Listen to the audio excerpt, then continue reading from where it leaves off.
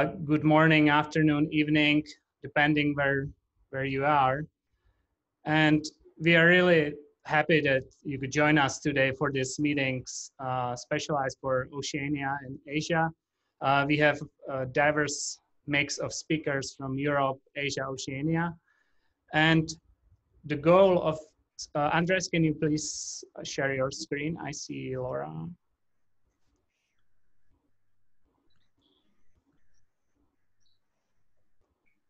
Can you see it now? Yes. And um, the goal of this meeting is to first connect uh, with other protistologists in the region. And the second goal is to allow early career researchers to present their work this year. So Adriana will tell you something about the first goal and I'll uh, tell you more about the second goal of this meeting. Okay, uh, Thank you, Philippe. Let me just change here so I can see with whom I'm talking. So hi, I'm Adriana. Uh, so we we have thank you everyone that's here. As Philippe said, those that are sleeping also that will be watching us uh, after on uh, on the videos on the YouTube. Uh, so just a couple of notes. So this year we had uh, planned the International Society of Protistologists uh, in Cancun. And uh, so it was a great location, but a bit prohibitive for many of us that are working in Asia and uh, in Oceania. And also in other uh, underrepresented countries that often are not uh, in international meetings. So, and this is because of particularly the travel costs. So in the first edition, for example, of the Electronic Symposium of Protistology, uh, the ESOP, uh, uh, we have gathered people from North, Central, and South America, as well as Africa. And today, just for you to have an idea, and tomorrow we will be connected to people from Japan, from Australia, from New Zealand, from Philippines, from Istanbul, Hong Kong, Russia, Iraq, Israel, Singapore, of course, and many other countries in, in Europe. So it's, uh, it's a great opportunity to be connected with other protistologists that usually you will not see uh, in the meetings. And as, although many people say that uh, the um, one-on-one uh, meetings uh, cannot be replaced by online meetings, uh, for some people this is their only opportunity. So we are really happy to bring this, to continue this work that started with Patrick Keeling, with Javier and Fabienne. And uh, we hope that this will be, uh, this experiment will be part of uh, the, the meetings from now on. So welcome everyone. Philippe, I pass to you again. -huh. So this was the first goal of this meeting to allow people from this region to join a scientific protistology meeting. And the second goal, as, as was uh, already stated during the first meeting, uh, the cancellation of all or most of meetings this year has really created a vacuum in the field to interact with other protistologists. And we felt that this situation really affects uh, early career researchers, uh, PhD students, master students, postdocs, assistant professors. And uh, so we decided to give uh, them a chance to present uh, during this meeting. So as you can notice, this meeting is early career researcher heavy. We only have a few talks by senior people. And since the all the meetings are canceled, uh, or most of them in-person meetings, uh, where some of the early career researchers could find their potential future supervisor, uh, fieldwork buddies, or collaborators. Assistant professors could get the get the one invited talk that would help them to get the grant or fellowship they're now writing. So all these were reasons why we are giving the opportunity to early career researchers. Uh, this was also mentioned uh, in the survey after the previous meeting. And one way how we are doing it is by including the lightning talks. So uh, they're fairly short, but they're still invited talks. Uh, and we feel that the Zoom platform is uh, especially useful for, for talks like that. And we have breakout rooms where you can uh, connect with the speakers, ask more questions. So we're really looking forward to this experiment. Uh, of course, as with the previous meeting, this is fairly new to us. We're not experienced in holding virtual meetings, so please bear with us. And if I can ask Andres to move to the next slide. So here are our speakers uh, uh, with the program for today. And uh, I would just briefly uh, introduce some basic Zoom uh, rules for the participants. Uh, Andres, can you move one more slide? So if you're not presenting or asking a question, please uh, mute yourself. There's a there's the microphone icon on your control panel, so you can mute your microphone there, and also you can stop your video to save the bandwidth for other participants to be able to listen to the talks. So please, if you're not presenting or asking a question, um, mute your microphones and stop your videos.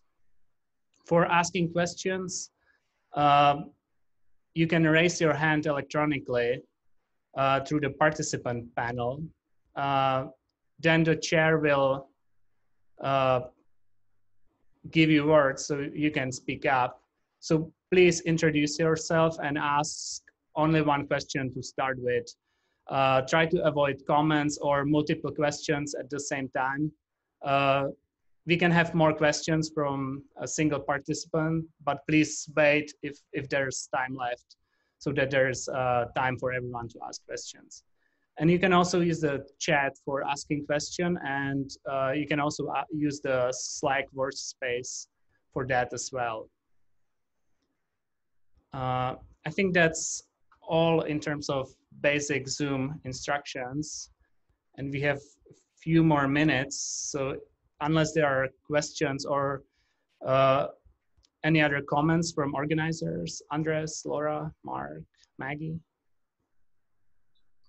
Unless you want to mention about the, the, the rooms after the, for the coffee breaks. Uh, yeah, or could someone else um, describe the breakout rooms? Adriana or Maggie? Okay, um, uh, so as Felipe was saying, we were trying to maximize the way you can interact with the speakers. Uh, so you have the Slack where you can write to them. Uh, there is a specific channel for every um, speaker but also we're gonna have separate uh, room uh, Zoom uh, meetings, which you can see now the code and the password, very hard, zero, zero, zero, zero. So you can choose one of these rooms that you can just join and uh, the speaker for that specifically uh, uh, meeting that you see now in the screen will be there and you can just interact, chat, exchange ideas. So that's the way we find that we can maximize uh, your participation.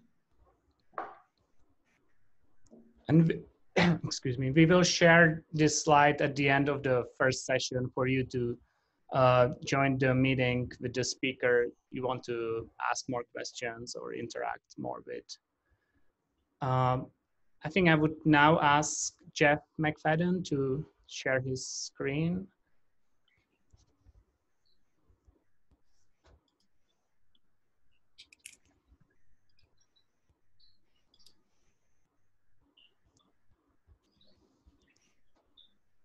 and uh, in the meantime, I can introduce uh, Geoff McFadden. Geoff McFadden is a professor at the University of Melbourne in Australia, uh, famous for his work on uh, apicomplexa and dinoflagellates, especially apicoplast. Uh, it's for me, it's a, it feels like uh, in the movie Inception because Geoff is a postdoc supervisor of my postdoc supervisor uh, so Geoff, the, uh, you can start your presentation. Thank you. Thanks, Philippe, and thanks to the organisers for the opportunity to talk today. It's, it's fun to be back in a conference, although I said to Patrick earlier, I'm going to miss the beer session.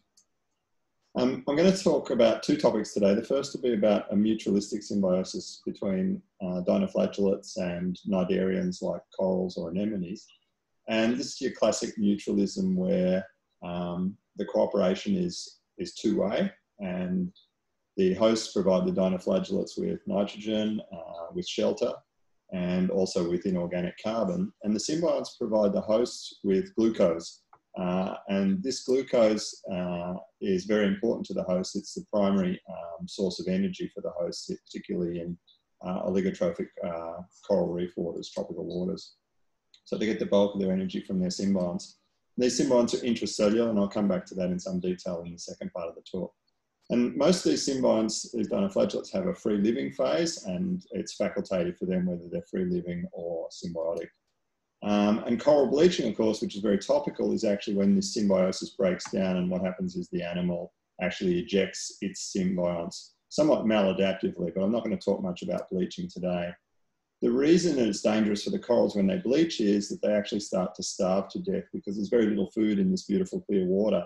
And so they're relying more on their symbionts to feed them than they are on um, animal feeding. If they don't get that glucose, they starve to death and die. Unless they can reattain their symbionts and re-establish um, new symbiosis when the water maybe cools down a little bit. So I've got two questions I want to talk about today. The first is how these symbionts uh, transfer glucose to the animal host? And also, the, did this uh, symbiotic transfer of glucose actually pave the way for some uh, forms of parasitism to evolve. So in thinking about how they transfer glucose uh, to their hosts, it sort of, again, took a botanical mindset. And I was thinking um, about how we get maple syrup out of maple trees. And basically the maple syrup farmer hammers a tap into the tree and the syrup drips out of the tap into the bucket there on the right. And this is because trees actually need to feed the non-photosynthetic parts of their structure. So the leaves photosynthesize, they um, generate sugars, and then they export those sugars out of the leaf cells, and they go into the system of pipes in the trunk of the tree, and there's a picture of them here and here. And these sugars go down towards uh, the base of the tree and into the roots, so that feed the roots, which can't photosynthesize. And the roots then, obviously in return, take up minerals and um, water and pump these up in a different set of pipes, these slightly larger pipes over here, up to the leaves to supply them. This is a partnership really between the photosynthetic part and the non-photosynthetic part. And they have to get these sugars out of the leaves and into these pipes, which are non-cellular. They're, they're basically uh, extracellular spaces with, with, the residual walls. Plants also pump out sugars um, to fill up nectaries and attract pollinators. And they also load a lot of sugar into um, seeds that can then be polymerized into starch uh, for storage for the next generation. And nobody really knew how plants did this up until uh, 10 years ago when a German um, transport biologist, Wolf Frommer, um, discovered a new set of proteins or transporters that he dubbed sweets. And sweet stands for sugars will eventually be exported transporters. And um, they published these, as I said, uh, first one's about 10 years ago. They discovered that there's seven transmembrane um, helix proteins, and they are what we call uh, in transport biology facilitators of diffusion or uniporters. So they have just a single substrate, uh, which is the sugar. Since they were first discovered in plants, uh, they've subsequently turned up in the genomes of animals and protists and um, prokaryotes. So they're pretty much a ubiquitous kind of transporter, but as uh, first discovered by Frommer in plants. And so far, the known substrates are glucose, uh, fructose, and sucrose.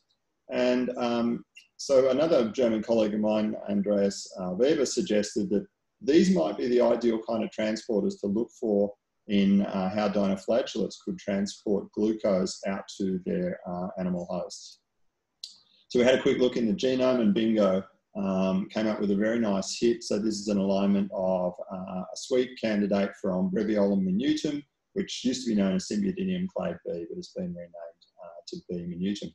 And here it is aligned to the Arabidopsis thaliana, the plant SWEET number eight. And you can see a very, very strongly uh, conserved protein here.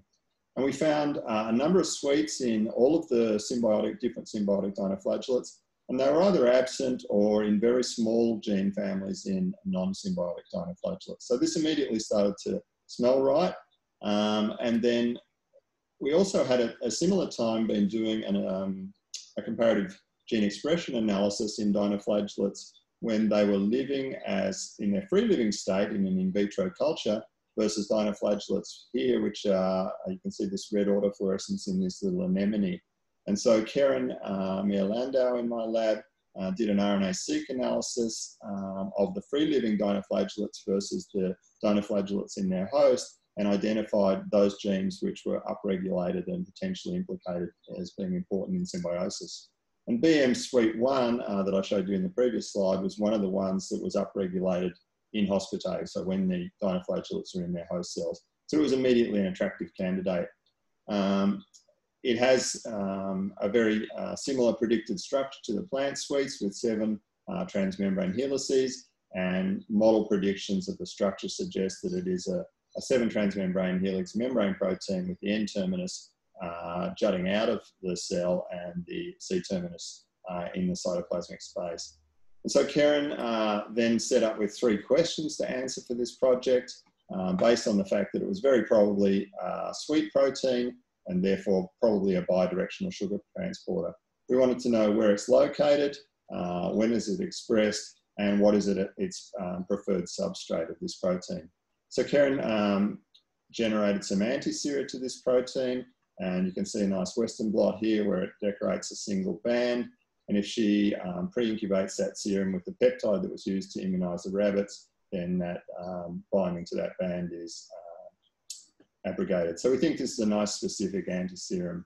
She then went ahead to um, identify where the protein is in the dinoflagellates. So here's uh, a little field of 10 dinoflagellates. Uh, you can see their nuclei stained here with DAPI and their chlorophyll autofluorescence. And this is the um, sweet serum here. And so this is quite striking. It, it decorates around the uh, periphery of the dinoflagellate um, very strongly, and you can see in the merged cells here. So then we wanted to know exactly where this um, uh, transporter candidate was in the um, uh, dinoflagellates. And so we switched to doing electron microscopy with this with immunogold. And so this is a section of um, a sea anemone tentacle. And you can see the two uh, layers of the animal here you can see the epidermis here, and this is full of cnidocysts here. So these are the ejectile cells that cnidarians um, shoot out to harpoon prey or to paralyze their prey. And then there's the mesoglea in here, and then there's the gastrodermis here. And all of these round cells in the gastrodermis are dinoflagellates, the symbiotic dinoflagellates. So they're very, very packed with these dinoflagellates. And if we zoom in on this area here, you can see each of these uh, separate dinoflagellates, each of them in a separate vacuole, uh, this is their plastid here, and this is their nucleus with the uh, semi-condensed chromosomes here and over here. And this is EM work done by uh, Allison van de Meene in our department. So the uh, anemones are packed with these dinoflagellates, and each of them is in a vacuole, which we call the symbiosome, um, inside the animal tissue, inside the animal cells. And looking at the immunogold labeling, if we zoom down on this dinoflagellate here, you can see the, the cell wall out here, um, the plastid is here, and you can see the gold labeling uh, along the plasma membrane here. And here's a whole uh, cell here. This one hasn't been stained. But if you look at the labeling down here, uh, you get a very intense uh, set of labeling along this plasma membrane. So the um, protein is in the plasma membrane of the dinoflagellate, which is where we'd expect it to be if it was an exporting protein. Um, then Karen wanted to follow up on her RNA-seq analysis at the protein level and determine um, whether there was a difference in expression of the protein in the free-living dinoflagellates versus uh, the dinoflagellates that were, that were in the host. And uh, after some time, she opted to do this by immunofluorescence microscopy. Um, and so here's uh, some free living dinoflagellates. Here's a dinoflagellate again showing that um, anti-sweet labeling here in the periphery of the cell. There's the merge with the, the chlorophyll autofluorescence and the DNA. And these are dinoflagellates from inside the host. And both these images are taken um, with the same labeling protocol and the same uh, gain settings and everything identical on the microscope. And so we can actually um, call this a, a, a, quantitative difference in the intensity of the fluorescence with this antibody labeling. You can see very clearly that the, the fluorescence intensity here is, is way stronger when the dinoflagellates are living in the host versus when they're free living. And Karen went ahead to quantify that in um, um, extensive way. And so what she did was she measured the mean fluorescence intensity of individual cells and she chose to do it for more than 100 cells and she did it on three separate experiments. And so these are again the free living labeling levels, which equates to this is what you would see in the microscope with these um, uh, 300 and some odd cells. And then when she looked at the, uh, the cells in host, you can see that there's um, significantly more uh, fluorescence intensity as uh, represented by this single image here. And then the control for that was to uh, label again in the same three experiments, free living uh, dinoflagellates and dinoflagellates uh, from the host with uh, omitting the primary antiserum. And you can see that there's um, a very uh, low background level of fluorescence in these cells. And in fact, the level of um, protein in the free living cells with the antibody is not a lot greater than the level of um, uh, fluorescence intensity without any antibody whatsoever. So this is a very, very low expression level by comparison with this one here. So we knew where the protein was and we knew that it was um, substantially upregulated when the dinoflagellates entered a symbiosis with uh, the host. And the next question was really what the um, transport substrate was. And this was uh, experiments performed by um, my old friend Andreas Weber, who we've collaborated with on transporters in the past, and his postdoc Marion Eisenhut uh, did a lot of these experiments. And the way they do this is to take a yeast mutant, uh, which is uh, deficient in hexose transport. Sounds pretty simple, but they actually had to knock out um, 18 genes in the yeast to uh, disable its, all of its hex ability to import hexoses. And this mutant's called EBY4000. Um, so what you then do is you transform this yeast mutant uh, with an expression vector that expresses the protein of interest, uh, which you believe might be a sugar transporter. And so this is what that looks like. Um, this is the, the mutant yeast here, and you get a little colony here. And they can, of course, grow on maltose, which is a disaccharide. So they can still import a disaccharide, disaccharide but not a, not a hexose. Um, and so this uh, mutant has then been um, transformed with three different uh, putative transporters. Um, well, there's, there's, two known transporters and uh, the, the Breviolum minutum uh, SWEET 1 transporter. We also have a control here with um, just the empty uh, expression vector here. And so on maltose, all of these um, yeast colonies grow quite well if there's uracil included in the media.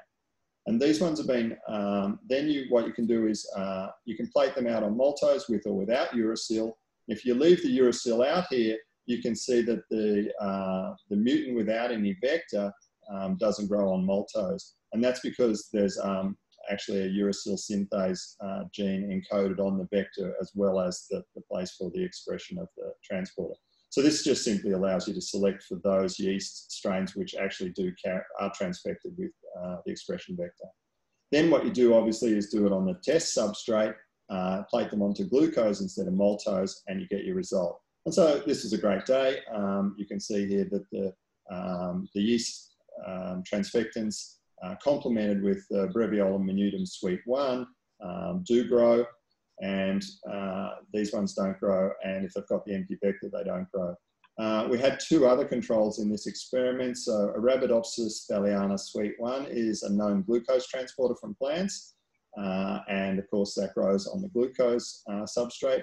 And Arabidopsis thaliana SWEET 11 is a sucrose transporter with um, no affinity for glucose transport, and that doesn't glow on the glucose uh, plates.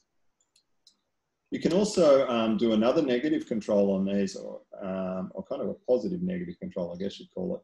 And what you do is plate them on maltose so that they should grow uh, like this. but you also incorporate into them um, agar 2-deoxyglucose, uh, which is actually a toxic analog of glucose. So if they can import this hexose, it will actually kill them.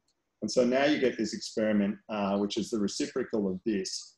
Um, so the only um, algae, uh, sorry, the only yeast that grow are the ones that don't express hexose transporter, so they um, can't import the 2-deoxyglucose, but they can use the maltose and also the um, yeast expressing the sucrose transporter here. So they can grow on the maltose and they can't import the deoxyglucose so they don't die.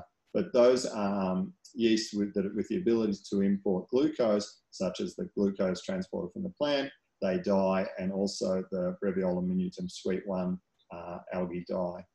So um, this is a very strong uh, set of evidence that this Breviolum minutum um, sweet candidate is a glucose transporter. We also um, started to look at whether it had any other potential substrates and um, it can transport glucose as I showed in the previous slides and, and that's represented again here. These are the, the, same ones. If we substitute fructose instead of glucose, you can see some modest growth here for the Breviolum minutum, but it's, it's pretty low. And um, we also tested sucrose and I don't have a slide of that uh, to share with you yet but it looks like it has no ability to transport sucrose. Um, and we have the sucrose uh, positive uh, control in that for the sweet 11. So what we've got at this stage is evidence that um, Breviolum minutum sweet 1 is uh, a very strong candidate for the transporter that supplies glucose to the host. It's in the correct place. You'd expect it to be in the plasma membrane. Uh, it's upregulated quite substantially in the host, and I'll, I'll, speak about why we think that makes sense in a minute uh, and it has the, the correct uh, substrate specificity. And the fact that it's either absent or in much reduced gene families in non-symbiotic relatives um, is congruent with the fact that it's a symbiotic um, transporter. So this leads me to the sort of second part of this presentation, which is, uh, did this kind of glucose transfer actually pave the way for parasitism? So if you think about symbiosis, it's classically represented as some kind of uh, sliding continuum, where at say this uh, left-hand extreme, we have a classic mutualism between a coral and its symbiotic um, dinoflagellates and other uh, symbionts that corals contain. Uh, in the middle, you can have a commensalism where uh, one organism probably benefits, but the other partner of the symbiosis is relatively neutral. And at the far right, you have something like a parasitism where uh, the symbiont benefits massively, but the host actually suffers uh, some kind of uh, evolutionary cost to its fitness. And I've always been interested in whether you can actually convert from a mutualism to a parasitism uh, and change the position of the organism, the symbiont, along uh, the lineage of the symbiont along this uh, continuum. And really my interest in this goes back to an experiment that was done um, before most of you were born, uh, in which I showed that the apicomplexan parasites had photosynthetic ancestors by identifying um, a plastid, uh, which Philippe referred to as the And what was interesting about this at the time was that we knew that uh, apicomplexan parasites were the sister lineage to dinoflagellates and belonged with the ciliates in this uh, clade called the alveolates. And the identification of a plastid in this lineage suggested that the lineage had originally been photosynthetic and had somehow lost photosynthesis, and this then became uh, the apicoplast. And so, thinking about this in uh, more detail, it's quite interesting because dinoflagellates are, are, fantastic symbionts and they can enter into symbiotic interactions uh, with all of these cnidarians like um, jellyfish and, and, anemones and uh, corals but they can also enter into symbiosis with mollusks, uh, with sponges, um, with flatworms. Um, they can enter also into symbiosis with protists like forams and ciliates. So they're really good at um, forming symbiosis with all kinds of animals and, and even other protists. And we had also predicted uh, that these um, organisms in the apicomplexan were originally photosynthetic and that there might have been some uh, transition form where there was a photosynthetic um, symbiont of animals that was more on this apicomplexan lineage than it was on the dinoflagellate lineage.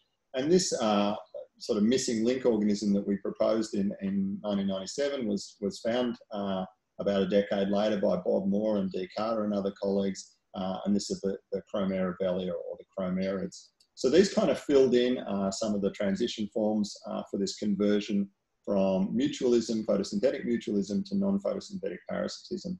What's interesting about this is each of these uh, lineages here are capable of participating in intracellular symbiotic interactions with animals.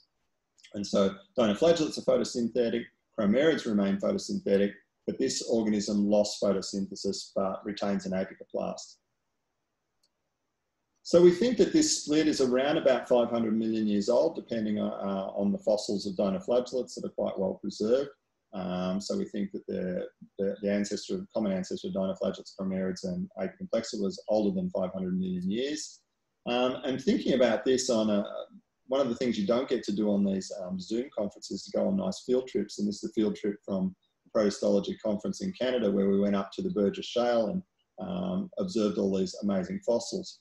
And it started me thinking that this organism, uh, this trilobite, which is around about 500 million years old, might have had some kind of symbionts, or the other invertebrates in this uh, water body might have had some kind of symbionts that were an ancestor of dinoflagellates, an ancestor of chromerids, and an ancestor of uh, apicomplexans. So this is kind of some kind of symbiont slash parasite uh, ancestral to these organisms. And Noriko Okamoto, when she was in my lab, uh, wrote a little uh, review piece about the chromerid discovery and thought about the timelines uh, for this. So this is a, a, tree a bit like I showed you before, Apicomplexa, Chromera, um, dinoflagellates and ciliates here, and with a timeline estimate here of around about 480 million years. And if you think about what animals were um, present at that time, we're talking about the very simplest animals, sponges, cnidarians, uh, and worms, and uh, mollusks. So this is interesting that this symbiotic ability in the dinoflagellates uh, occurred at about the same time as, whoop, we just had a crash. Sorry about that. I'll blame that on Noriko.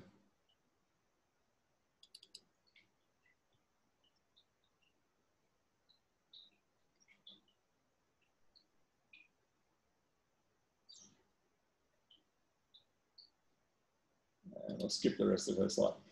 Um, so this sort of begs the question of how did this lineage learn to uh, steal glucose from the host rather than supply it to the host when they stop photosynthesizing? And I think the answer to this is in the sweet proteins.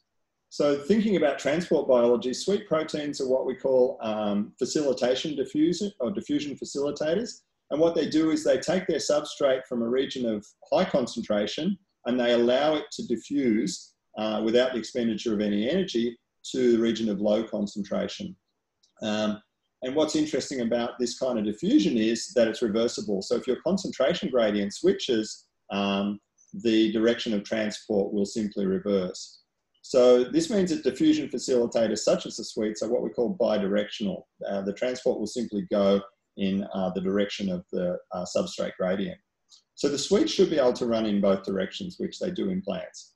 And so in the dinoflagellate, the sweet, which is represented here, allows glucose to diffuse outwards from its source in the dinoflagellate through photosynthesis outwards towards the host. And um, in the, in the yeast, what that ex, uh, experiment proves, the complementation experiment proves that it actually runs in the opposite direction.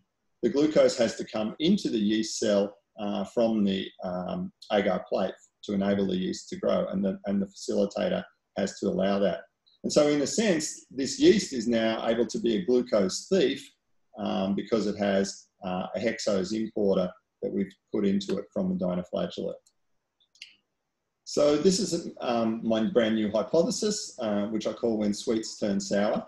And it really, I think, nicely rationalizes the origin of parasitism. So this is a collection of um, the motile invasive forms of a bunch of Apicomplexa by um, and Aikawa. Um, and all of these parasites, if you search in their genomes, they contain uh, sweet genes. And I think these sweet genes are what allow them to become glucose thieves. And sweets are quite nice because they offer the first sort of molecular explanation of how you convert from being mutualistic uh, to parasitic as a symbiont. And so I think sweets actually created the phylum Apicomplexa, which is um, certainly at least 6,000 different species of uh, animal parasites. And Sweets also quite nicely rationalize how we get parallel origins of parasitism. So, and I'll talk about this in the, in the coming slide. Things like Perkinsids and apicomplexa appear to be actually convergent um, on parasitism from mutualism. And there's also uh, recent inferences of multiple conversions to parasitism within the Gregarines by um, Patrick Keeling's lab and Jan uh, Janouškovec's lab. And the Sweets would also explain this. So what I think is going on is that this is our, our hypothetical ancestor of um, the, um, the dinoflagellates, uh, um, chromerids, and uh, apicomplexans and uh, and probably even corallicolids. Um, and so it was a mutualistic photosynthetic symbiont that exported glucose to its host using uh, a sweet protein. And this can become a glucose thief if it loses photosynthesis. So this is the symbiont here. It's got a sweet protein here, a photosynthetic plast that manufactures glucose, and that glucose comes out in the cytoplasm, is used by the organism. And if that organism is in a symbiosis, it will then export this glucose. So probably when it's in a free living phase, it do, do, um, represses the expression of this sweet so that it doesn't lose glucose out to the oxygen.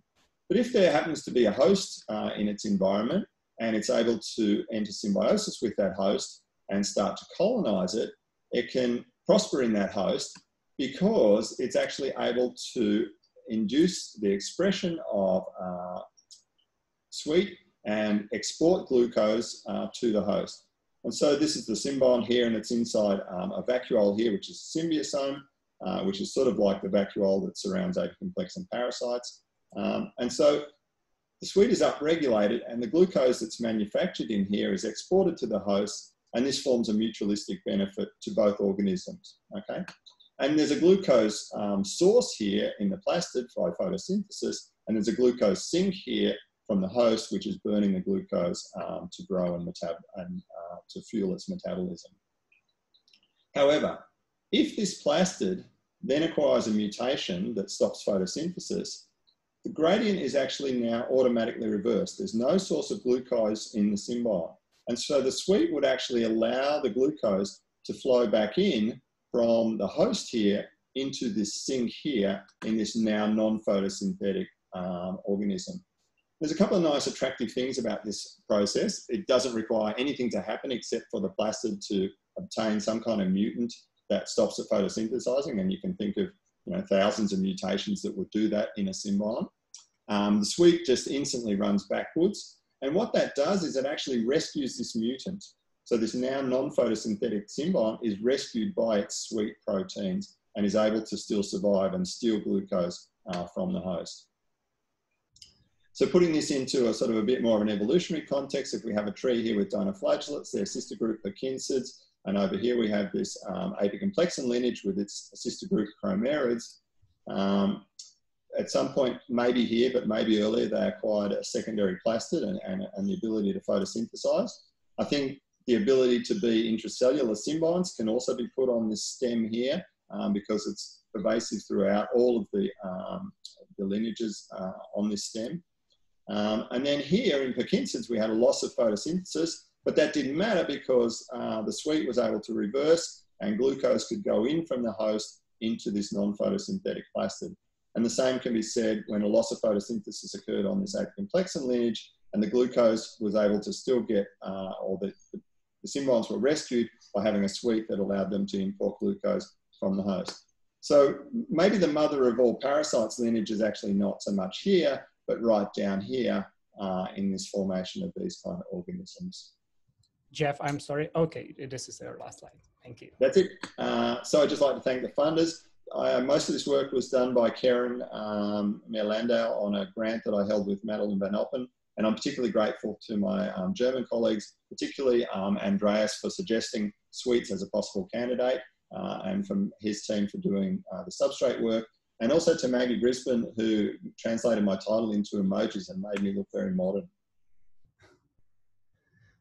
Okay, thank you. Thank you, Geoff, for a really nice talk. So now uh, we have a few minutes for questions. So if you uh, can raise your hand. So I see that Yuchi, Yuichiro Kashiyama uh, has a question. So please unmute yourself. And yeah. Can you hear? Yes, I can hear. I think I simply missed uh, what you said. Um, what was the? Um, I thought you said some external factor um, upregulating the um, expression of sweet. Was it correct? I don't know what the factor is. It's it's apparently entering into symbiosis, but um, there are. Oh, you don't know. Don't know the factor. Okay. Uh, so then there's uh, a next question in the chat. Thanks for the super interesting talk. Have you thought about looking at sweet function as coral anemones are exposed to thermal stress and bleaching? Uh, there are some studies suggest, suggesting retention of sugars by coral dinoflagellates uh, is a precursor of and or potential trigger of coral bleaching.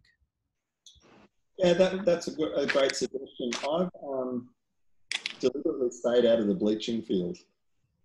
Uh, it's quite a, um, a fast moving and complicated and, and political field. Um, I think your idea is quite interesting. Uh-huh. Yeah, the question was by Luke Morris, sorry. And we have uh, the next question by Patrick Keeling. Patrick, can you unmute yourself? Yeah, hi, nice talk, Geoff. Um, uh, maybe you've mentioned this and I missed it, but what do other symbionts do? Things that are well established lineages of symbionts like chlorella and so forth. Do they use the same strategy? Don't think anyone's looked. Um, not that I'm aware.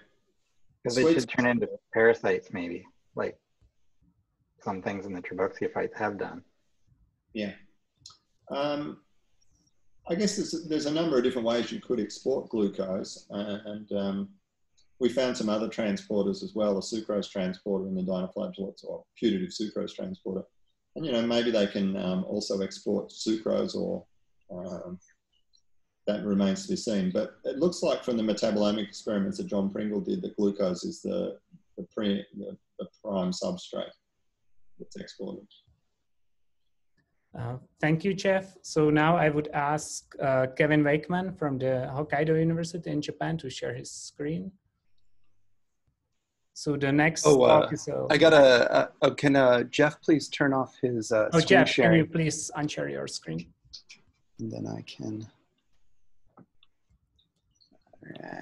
And Kevin will follow with a talk on apicomplexans, on marine apicomplexans. So Kevin is an assistant professor at the Hokkaido University, and he focuses on marine epi apicomplexans such as gregarines. Uh, yeah, Kevin, go ahead.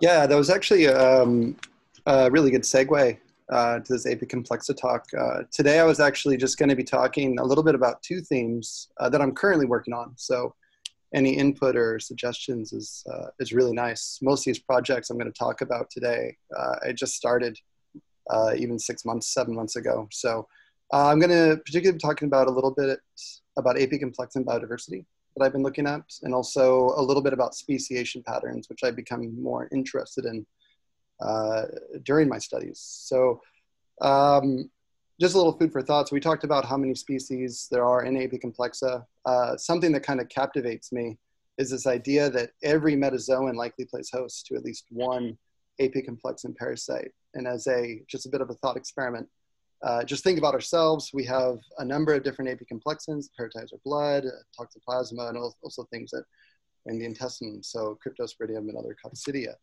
Um, I'm very interested in the marine environment, uh, in particular these uh, marine invertebrates uh, and their diversity. And so uh, one thing I've been working on are these uh, apicomplexan in shellfish. And I've been doing this work with some uh, collaborators through this JSPS bilateral grant with New Zealand down at the Cawthron Institute in Nelson.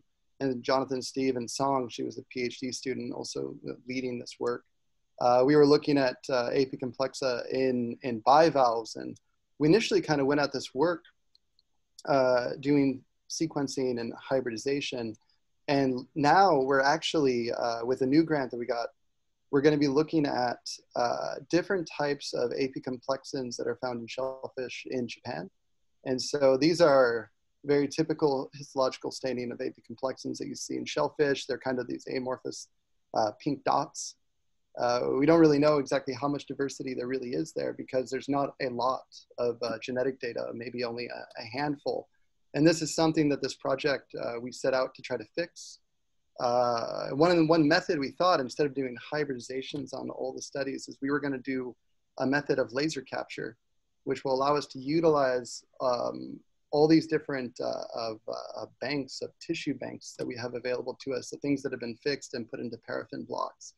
Um, and this is actually a video uh, using the UV and ultraviolet light where we're able to take a look at the section and cut it out of the slide. And so this gives us the ability to take a look at an apicomplexan uh, that we have of interest and remove it from the slide in order to get uh, genetic information. And um, using this, you can kind of see that there's a, uh, you can kind of see this pattern right here where you have the cells and then after the cutting, and then we're able to get about, uh, with the formalin fixed samples, up to a maximum about 300 base pairs. Um, but lately, uh, with new samples, I, I used a methanol-based fixation, and we were able to get a little bit over a thousand base pairs. So this is going to be a really cool method as we go through uh, different types of cell shellfish. Um, next topic I wanted to talk about is the speciation patterns, uh, in particular using gregarine apicomplexans in their invertebrate hosts as a model. So this is uh, a nereid, so this is a worm, a typical polychaete you see, and, and these are some gregarines that are found in the gut lumen, also coelomic cavity. Uh, this is a diversity of gregarines. This is some work that I did during my PhD in Vancouver. Uh, you can see that there's just a whole bunch of different types of diversity. And here's a couple really cool videos, some things I found recent. So you can get an idea of the type of diversity that you can really see in apicomplexans. Um, here's another video of, uh, uh, this is called the Veloxidium. And so uh, one question I was kind of having is, is how do we actually get this type of diversity? So how does it move through all these different invertebrate groups?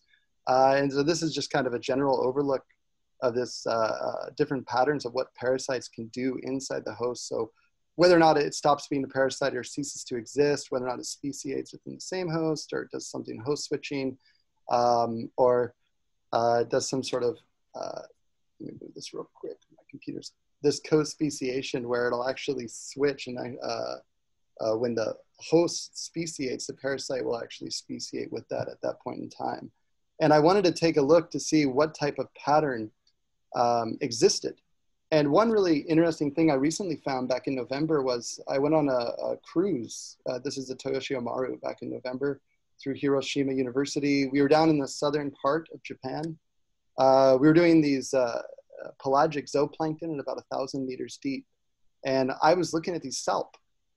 This is Salpa fusiformis. It's kind of a cosmopolitan salp that you find all over the world. This is the lab setup on the boat. Uh, what I found inside the salp is kind of interesting. So when I was looking at these gregarines within the salp, um, if anybody takes a look, uh, see what's uh, what this is like, or to to see what this is actually similar to, uh, this is actually very reminiscent of a uh, crustacean parasite. So the way that they're having the, their syzygy right here, so their sexual reproduction, uh, is very similar, at least to me, uh, to these uh, crustacean parasites. And that kind of stuck in the back of my mind. And this is actually the salp gut right here. And you can see the parasite is inside the salp. Um, this is just some SEM photographs that I took and then some more TEM. Again, this, is, this TEM actually, again, was very similar to other crustacean parasites that the light microscopy was also reminiscent of. And sure enough, when I did the sequencing, uh, the sequence of this parasite actually came out within a clade that was exclusive, at least uh, to this point in time, to uh, uh, parasites of crustaceans, which is kind of unique, kind of special. Um, I really wanted to take a look because salp have this interaction with copepods where they kind of live inside either as parasites or uh, commensal. And uh, what time are we at? Five minutes already? Oh, I think you're on mute. Sorry. Yeah, we're over five minutes, but oh, yeah, I'm sorry. I was going. So I'll, I'll finish up here real quick. Uh, so, anyways, basically, what I found was that they were in the same clade, and so this gave an idea that copepods uh, was part of this whole host switching event because they have this uh, close relationship, and then it's not exactly uh, it's not isolated to Japan. This is something that we see globally.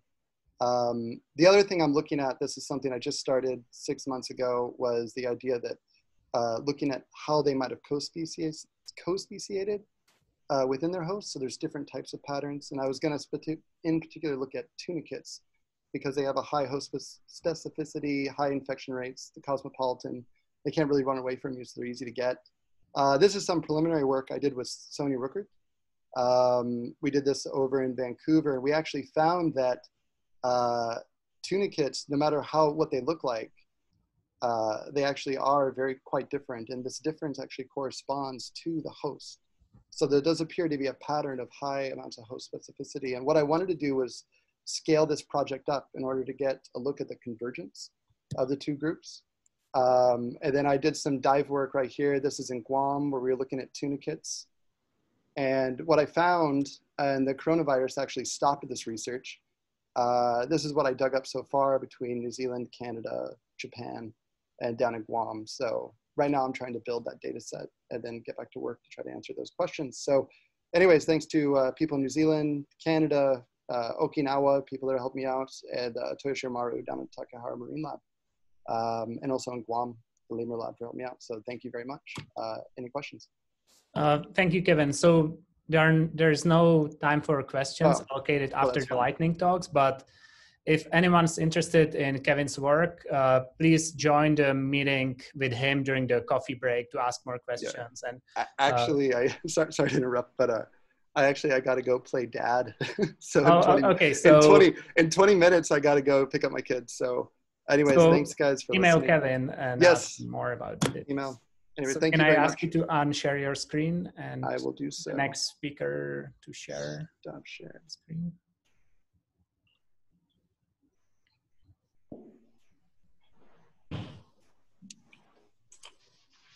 Okay, uh, Ruth, can you share your screen? Yes. So while Ruth is sharing uh, her slides with us, uh, her presentation with us, uh, so we will continue within our relates um, with Ruth. Uh, she's a plant, plankton uh, biologist. Uh, she has established the, she used to work with HABs and she has established, she helped to establish the first testing facility in Tasmania for detecting of um, hubs in salmonids and selfish uh, uh, industry. Uh, this experience led her to today to be working in several uh, long-term monitoring programs uh, in, in Australia also. She's part of CSIRO, but she will talk about her love uh, with uh, tintinnids through the microscope today. So Ruth, are you on? Yes, can you hear me okay? Yeah, Thank you. And you've got my screen sharing okay? yeah. Thank you. If you could please just give me a bit of a heads up at about 15 minutes so that I can try and keep on time, it would be great. Thank you. Um, good afternoon, everyone, from cold, wet, windy Hobart. Um, we are in the midst of a very severe low pressure system here, so I'm hoping that my power and internet connection don't go out in the while we're in the symposium. Um, I want to talk to you today about two of my favourite groups of protists, which are the tintinnids and the phytoplankton that associate with them. Um, and this is a morphology based exploration of what I call a microscopist stream. And I hope that you can see as we go through the talk just how wondrous and beautiful and curious this group of organisms are. So I'd like to start with say thank you to the organisers of the symposium. I'm really missing the opportunity to meet, um, to go to meetings and um, conferences and to learn from other researchers. So this is really filling a gap for me. Thank you so much. Um, my thanks to the plankton team at CSIRO where I work and my University of Tasmania colleagues. Um, and a big shout out to the postdocs and PhD students. I know this is a difficult time for you to remain uh, enthusiastic and energetic about your research, so this talk is dedicated for you. I'd like to acknowledge the Integrated Marine Observing System and the Australian Antarctic Division who um, allow us to conduct um, strategic research on a continental scale around Australia um, and in the Antarctic, and the Electron Microscopy Unit in particular at the AAD, um, and all my collaborators and mentors for sharing their knowledge and images and microscopic delight over the years. Just a couple of notes here. So I'm a microscopist and a parataxonomist, so I use morphology almost exclusively in my work. Um, we all know that taxonomy can change very quickly with new information and especially with new um, molecular techniques. Um, but we have to kind of ground truth the observations at some point um, against a standard reference. So I use the World Register of Marine Species um, for currently accepted nomenclature. So where I've attached a name here, I've drawn it from um, what's accepted in WoRMS.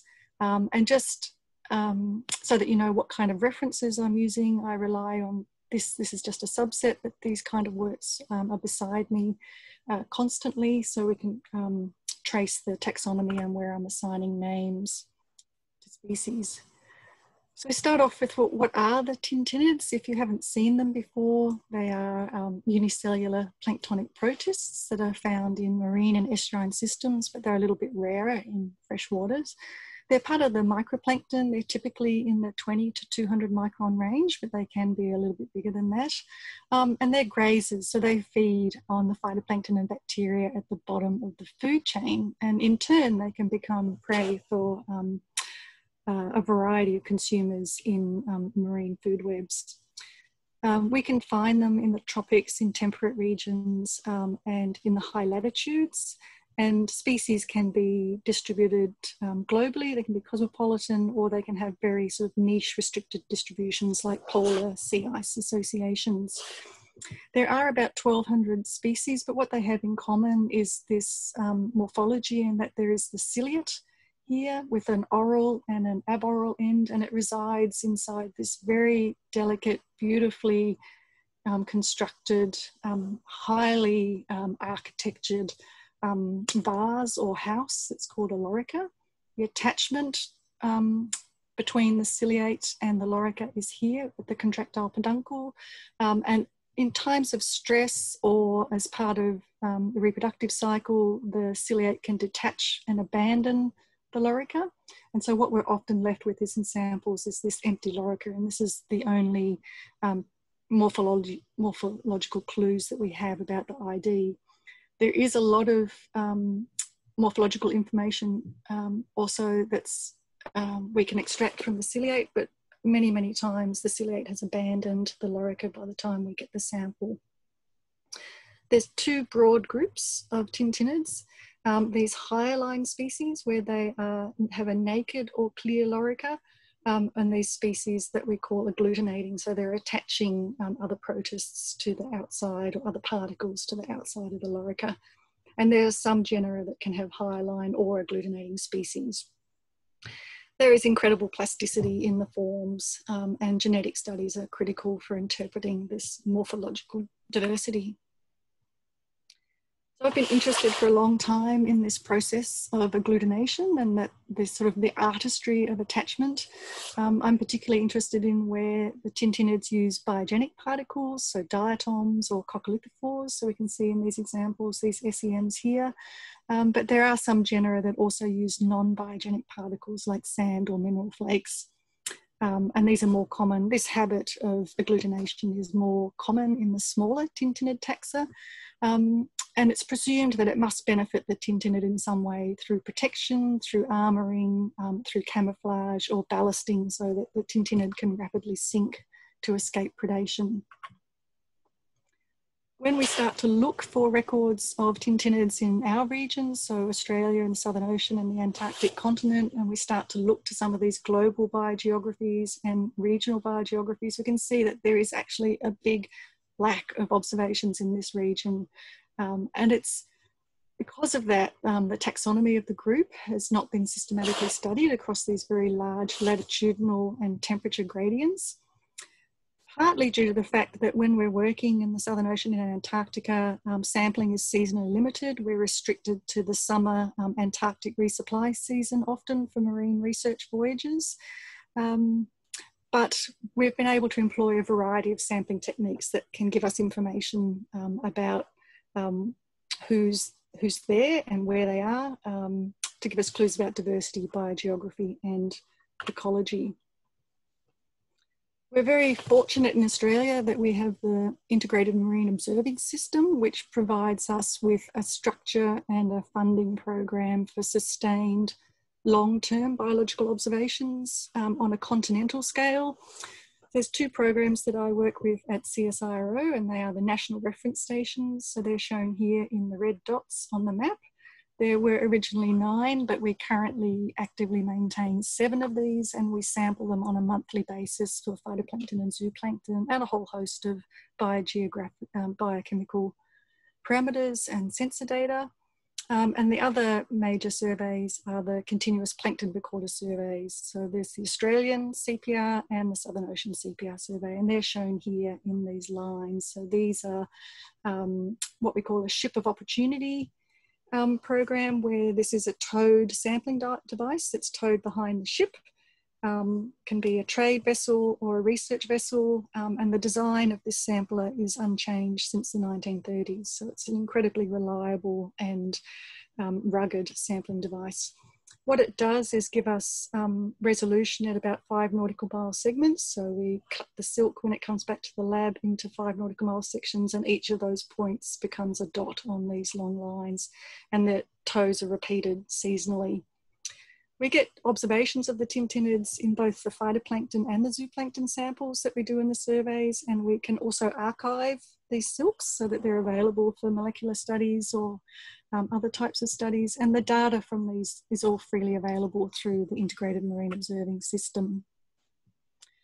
An example of the types of information that we can start to pull together from our region by using these long-term monitoring programs is to start to generate our own regional biogeographies of species distributions.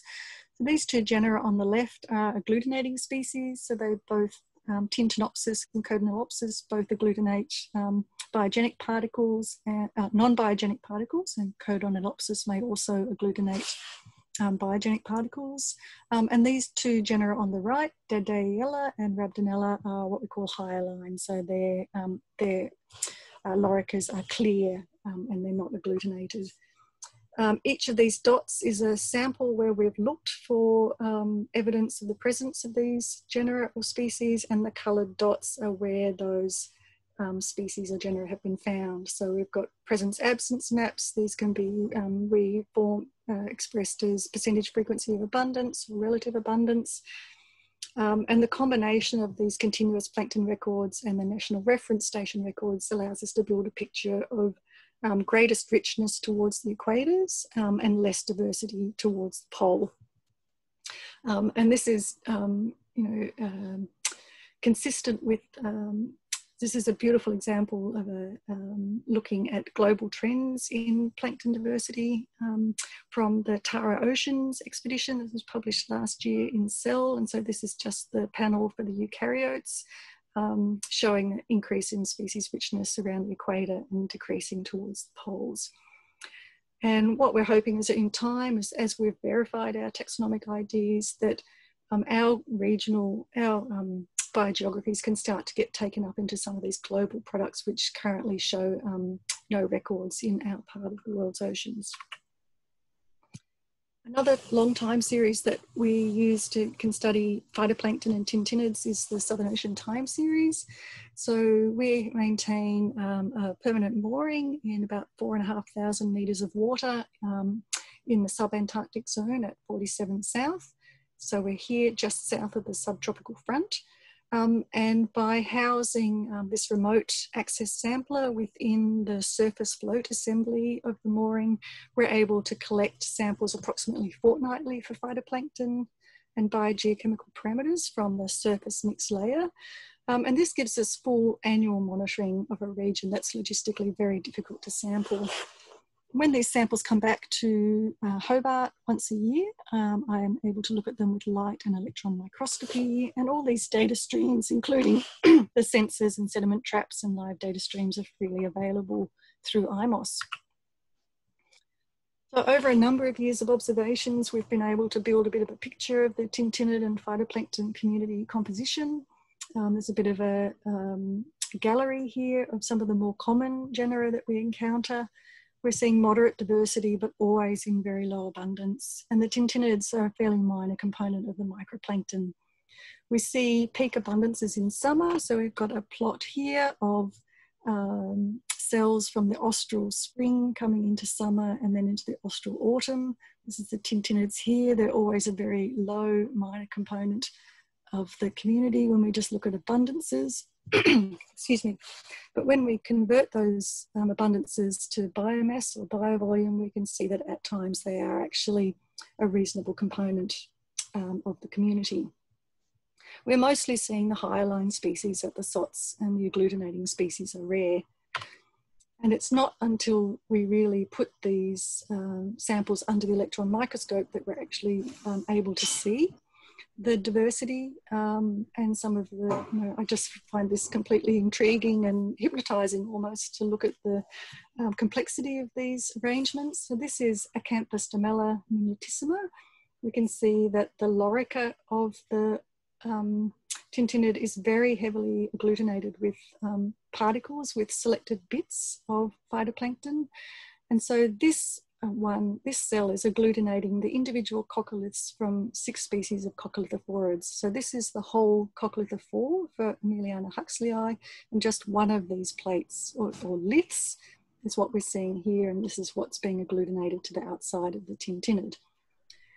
Uh, and interestingly, the species that we're seeing attached to the outside of the lorica are broadly representative of the species that we see in the water column, sort of in the similar proportions. And Emiliania huxleyi is an incredibly well st studied um, coccolithophorid, um, partly because of its um, habit of having different calcification morphotypes. So we can see four of the six calcification morphotypes that we typically see in the Southern Ocean here. This is work that was done by uh, with Andres Rigual Hernandez when he came to visit us uh, last year. Um, and we can see these very small, lightly calcified forms, type C. This is, these are rare in the water column and they're also low abundance on the lorica. The most common in the water column is this type BC. This is two forms of type BC, and we can see that this is what's most commonly agglutinated to the outside of the cell. Um, and then rare again is this type A, which is one of these heavily, more heavily calcified forms. Um, and it's interesting that what we're seeing basically is that the ratio of liths, calcification liths, about morphotypes in the water column is very similar to what we see on the outside of the lorica. Uh, this is another example of um, the same species from the subantarctic zone. This time these, these images were supplied by Rick van den Enden at the Australian Antarctic Division. This time we can see the entire lorica is covered with the individual coccoliths from a range of um, coccolithophorid species.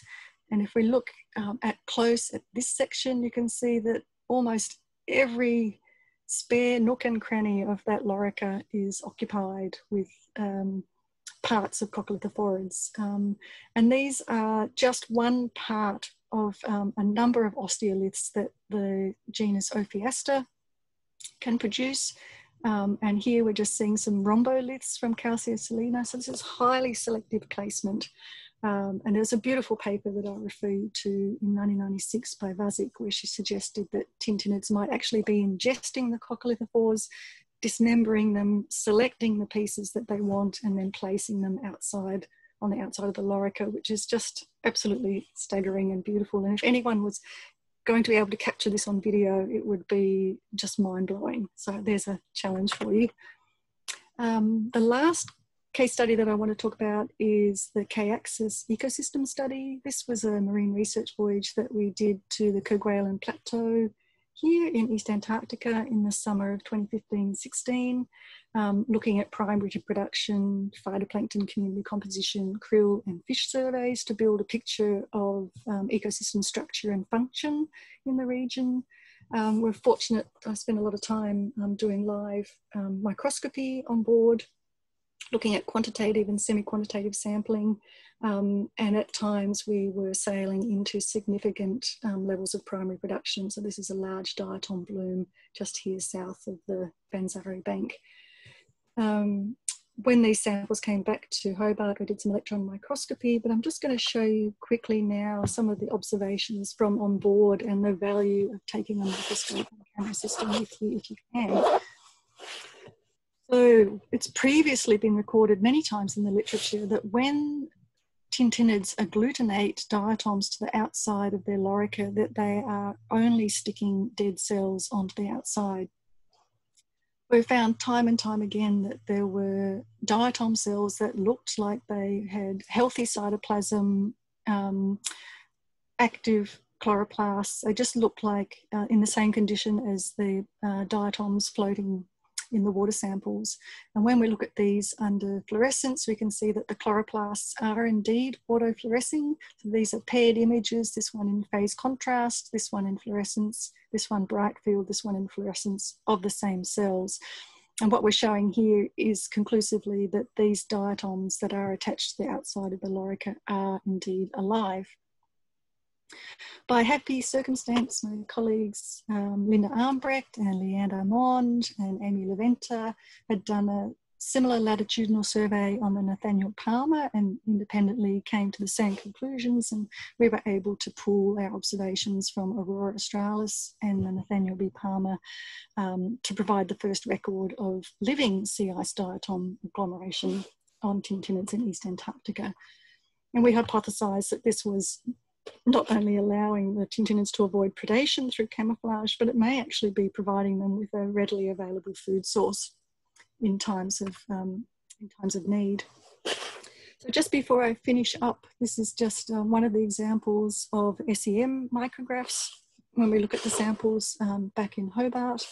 And what I'm showing here is that there is very specific placement of the um, agglutinated diatoms on the outside of the lorica. So the, the collar is completely free. The upper part of the lorica is really only populated with fragments of, of a range of species. Some we can identify easily by very distinctive components. So this is Corethron pennatum. Um, other components are not so easily identifiable but always consistently on this. This was Laackmanniella, that at the bottom part of the lorica, this is where we're starting to see um, complete frustules and living cells attached. And so whether this was has been grazed on or it's just fragments um, and that the heavy cells are attached at the bottom to help with ballasting, uh, we're not sure. Um, but um, at the moment, we're still I'm still counting to see look at species diversity, and we're seeing up to six species of um, Fragilariopsis attached to a single lorica. So I'll just stop there and um, hope that you've enjoyed your armchair tour of tintinnids and the phytoplankton of our region. Um, Australia and the Southern Ocean do have rich plankton records, and, but the tintinnids are an understudied and intriguing group of the microzooplankton that we'd like to continue to do more work on. Been noted many times um, in the literature that there's generally a lack of confidence and accuracy in species identifications, and this can complicate our understanding of the ecology and the biogeography of these organisms. And we um, hope that by working with taxonomic experts to validate our observations, that the, these IMOS time series and research voyages can fill in some of the gaps in our region. And of course, morphology alone is really only one aspect of describing species richness. Um, and it's critical to couple detailed microscopy observations with um, DNA based observations and single cell analyses. And this is a future focus. So just in summary, for the agglutinating species, we've seen that they not only select, but are also arrange the particles on the surfaces in highly specific ways, and that the origin and the size of those particles reveals the nature of the ecosystem in which the lorica was built. So please, I encourage you to keep an eye out for these in your samples and let me know what you find. So thank you. Thank you, Ruth, for very nice and amazing, beautiful images, really beautiful images. We do get here in Singapore quite often in our uh, nets, uh, the, the ones that agglutinate. And we also see this pattern that we, you saw uh, where they agglutinate the diatoms and the diatoms are still uh, alive. We see clearly uh, that they are under the, the blue light, they are red, so they, they are Fantastic. healthy and they are there. So really, really thank you and super interesting. Uh, do we have more questions? Do we have any questions from the from the audience, uh, either in the chat or? Okay, Mark, you raise your hand. You can unmute yourself. Hi Ruth, thanks. Uh, very nice, nice data. Uh, I know, don't know much about chinchillids, but you say they select the, the, for agglutination. How is this uh, done? I mean, they look like nicely aligned, but is there any active process, and can they avoid things they don't want sticking to their outside? Just, just a question for out of ignorance. Yes, so it's been, this is one question I would love to see answered, you know, and if we could get video evidence of them actually doing this, it would solve the problem for us. But it's been proposed that what they actually do, especially for the coccolithophores, is actually ingest the whole cell, dismember it, select the pieces that they want, and then place them, incorporate them into the lorica. Um, that's probably our best guess as to what they do. Um, that's a highly sophisticated process, and there's definitely um, a high level of organisation. Um, and the the thing that compounds that is that they actually don't seem to inhabit these lorica for very long. They can reject and and then grow a new one reasonably frequently through their life cycle. So um, it must be a rapid process. Um, and at the moment, I think that they probably are ingesting, um, dismembering the coccolithophores. For the diatoms, um, it's been suggested that once they've attached the diatoms to the outside, they're probably just ingesting the protoplasm, the cytoplasm from the inside of the cell, um, because the diatoms are too big for them to actually take into their interior. So, oh, we need to get some video. Yeah, no, thanks. Well, it's pretty cool. Thanks. Okay, uh, we have another another question from the chat. Uh, where do they secrete the stick material? That is a very good question, and I don't know. There is a beautiful paper by, uh, I think it's Sabine Agatha in about 2010, I think it was, where she went into a lot of detail describing the mechanism um, of um, the nature of the, the glue or the cement that they use. Uh, but I don't know a lot of detail about that process, I'm sorry. So I don't know, is anyone in the audience able to answer that?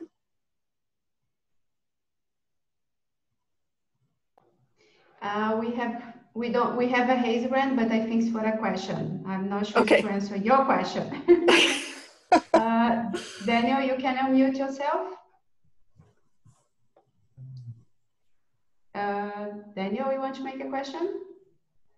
Yeah. Um, uh, can you keep in uh, live uh, these uh, tendinids for a bit, uh, or can you? Is there some species that uh, I know? I think it's it's impossible to keep them in culture, but can you keep them for some time? And if you keep them, will they still accumulate actually biomaterial? Uh, so there have been a couple of people that have been able to successfully culture them. There's some beautiful work by Laval Peuto, I think it was in the early 90s, where she was actually able to kind of close the life cycle um, and study um, some of the morphological diversity by maintaining, maintaining some species in culture, but it's difficult. They're very sensitive and fragile, um, and we often find that when you capture them, they just abandon the lorica. Um, and certainly if you observe them under the microscope, they don't like the heat and light and um, they kind of wither very quickly. Uh, so it is possible to culture them, but not all species. It's even harder to do it with um, Antarctic or polar species. Um, but it's probably the um, that will be the way that we can unfold some of these um, very curious processes of agglutination. So, yeah, good question. Thank you. Okay, so thank you, Ruth, again. Uh, we have to move quick to the next talk by Elizabeth. Can you try to share your screen, Elizabeth? Yeah. yeah, working good.